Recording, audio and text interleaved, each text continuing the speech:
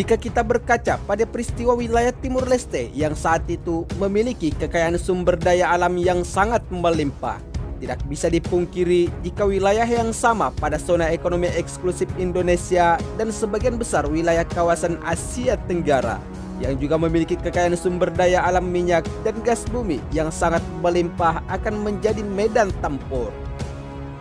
Hal ini tentunya bukan hanya sekedar isapan jempol semata, sebab wilayah tersebut pernah menjadi wilayah medan pertempuran antara Cina dengan Vietnam pada beberapa dasawarsa yang lalu di mana wilayah tersebut telah memakan banyak korban jiwa.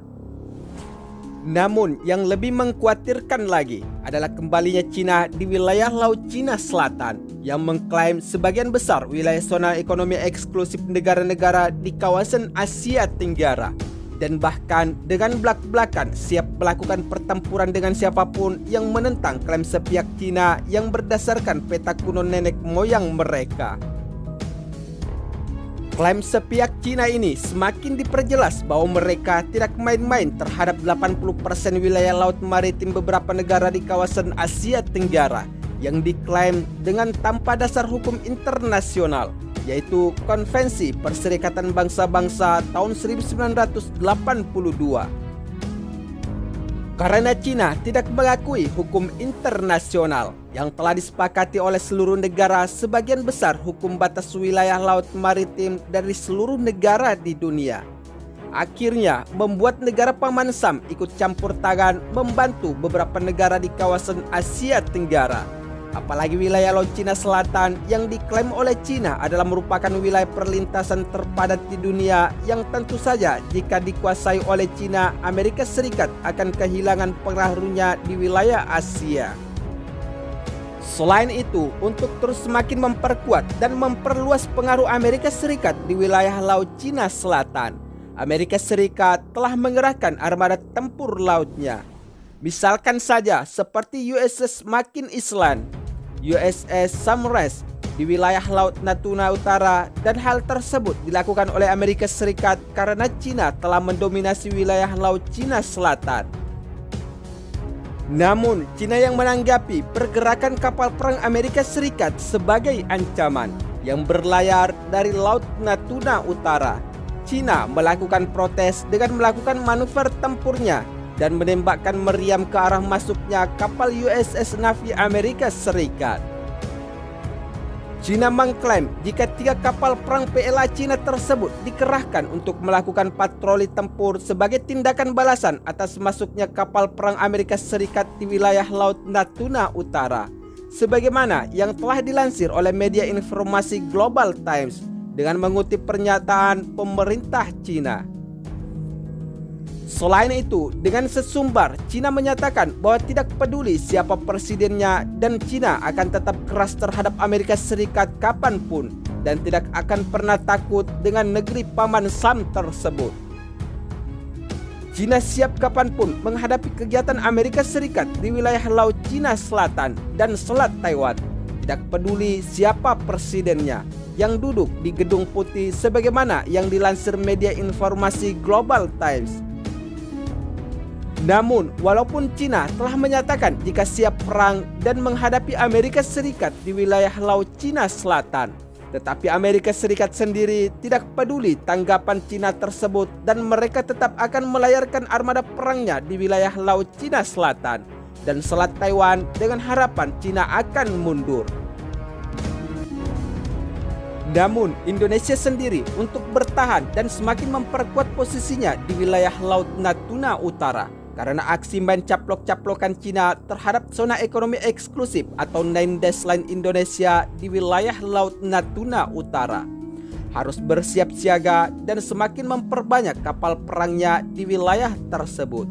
Sebagai bentuk antisipasi terjadinya gesekan yang tidak terduga antar kedua negara maupun negara-negara lain yang tentu saja bisa berefek terhadap sistem pertahanan Indonesia jika di wilayah Laut Cina Selatan terjadi perang.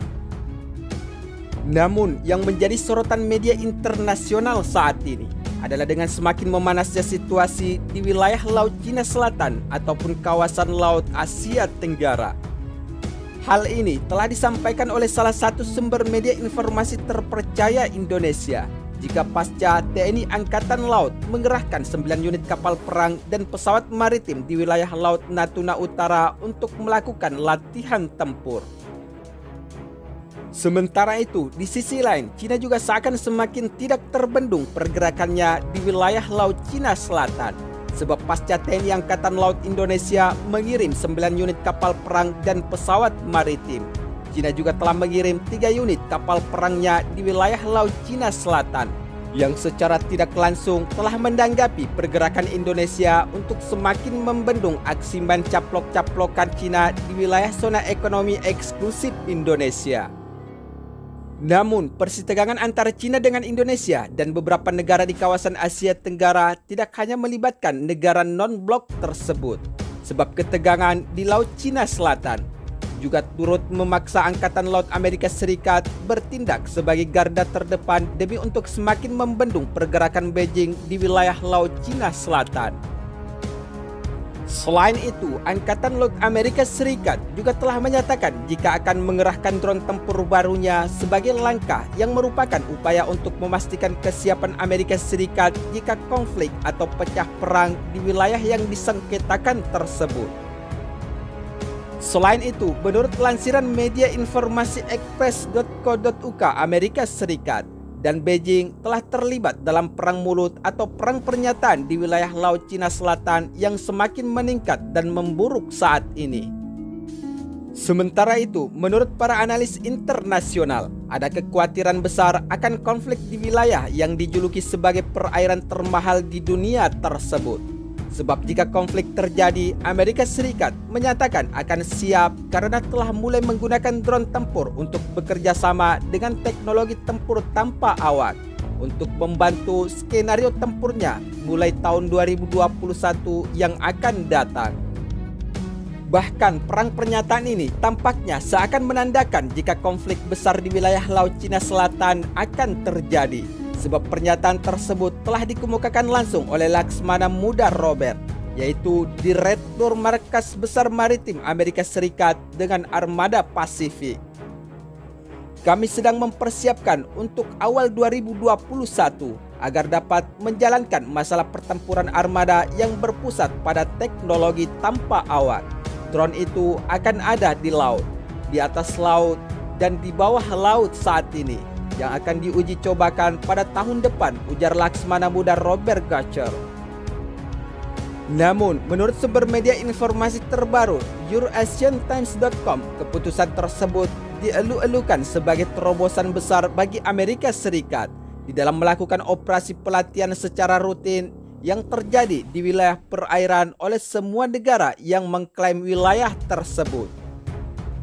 Sementara itu, di sisi lain, China telah mengklaim hampir semua wilayah Laut Cina Selatan yang strategis dan negara lain juga telah mempertahankan hak mereka atas wilayah zona ekonomi eksklusifnya. Misalkan saja seperti Brunei, Taiwan, Filipina, dan bahkan Indonesia sendiri.